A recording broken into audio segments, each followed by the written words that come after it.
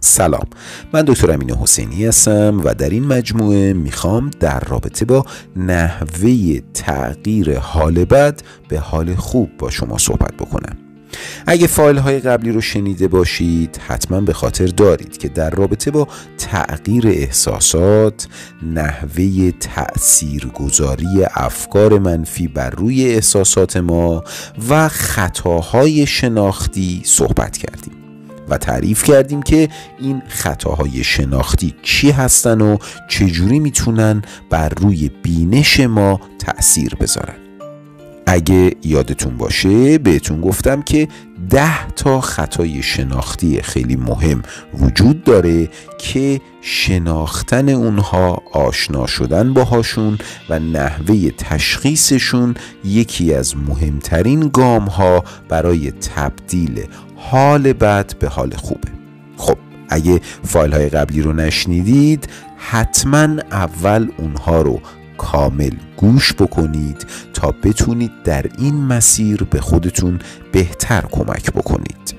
حالا می‌خوام به این خطاهای شناختی بپردازم و لازمه که شما با دقت گوش بکنید تا این خطاها رو بشناسید چون در ادامه مسیر خیلی باهاشون کار داریم.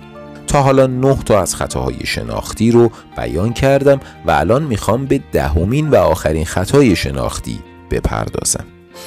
دهمین خطای شناختی خود مقصر پنداری نام داره.